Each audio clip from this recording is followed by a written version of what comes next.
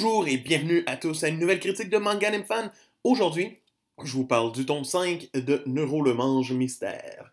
Donc le tome 5 qui s'appelle Les Frères en Armure. C'est... Euh, ça faisait longtemps que j'avais lu un tome de Neuro, il était temps. Donc on reprend avec euh, la fin du petit voyage à l'auberge sympathique où c'est qu'il y avait eu un meurtre, puis qu'on savait c'était qui le meurtrier, puis que ça se poursuit juste pour finir, c'est comme l'arc en dedans de quelques pages, c'est le premier chapitre ça m'a déçu, là, en fait, parce que c'est ce que je reproche à Détective Conan, de finir les enquêtes. Tu sais, là, au moins, l'enquête était conclue, le meurtrier était, fait, mais tu sais, c'était pas comme. Oh, il reste trois chapitres, on n'a pas découvert qui est encore le meurtrier, mais souviens-toi de tout ce que tu. Non. Là, c'était comme. Ok, phew, j'ai eu peur. Mais ça reste, euh, ça reste un bon arc quand même encore, parce que Neuro est un personnage vraiment le fun.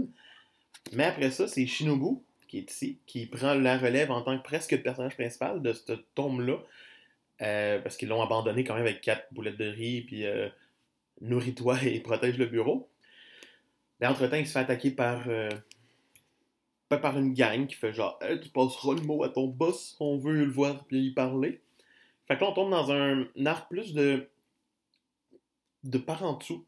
C'est du monde qui vont chercher des informations, qui veulent c'est comme faire tu sais, comme rendre criminels nos personnages involontairement sans même que d'autres le sachent. Euh, ça reste bien fait. C'est pas. Euh, bien sûr, c'est Neuro, sa première confrontation contre un des deux frères est quand même sympathique. Euh, mais c'est pas. C'est pas comme. Ouh! Cet arc-là, c'est pas mal de la trahison, par de la trahison, par de la trahison, par de la trahison. C'est bien fait, c'est bien mené mais ça aurait pu être tellement plus tant qu'à moi. Mais en même temps, euh, que Shinobu reste fidèle à Neuro parce qu'il fait Moi, moi, entre la force et la peur, je vais. La peur! Ça. ça... Ouais, ouais, ouais, c'est ça. Fait que pour ça, ça reste intelligent. Que le trafic de drogue n'était pas un trafic de drogue, mais en fait un trafic d'armes est quand même bien fait.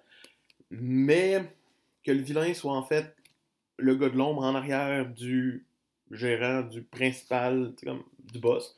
C'est comme, moi, ça a déjà été vu.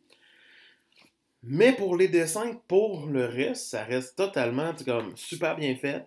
Euh, l'arc finit dans ce tome-ci.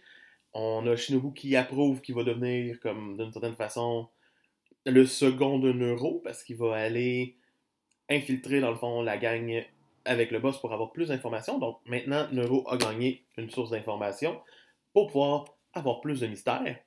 Donc, au moins, le temps m'a servi à faire progresser l'histoire. C'est pas juste genre, on a fait une enquête, c'est pas sûr. Non.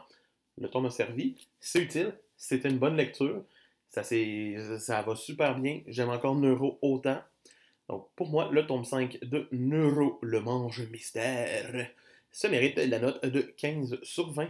Donc, euh, c'était Fan qui vous dit on n'oublie pas de liker, de s'abonner, de regarder les vidéos les plus récentes, puis de commenter.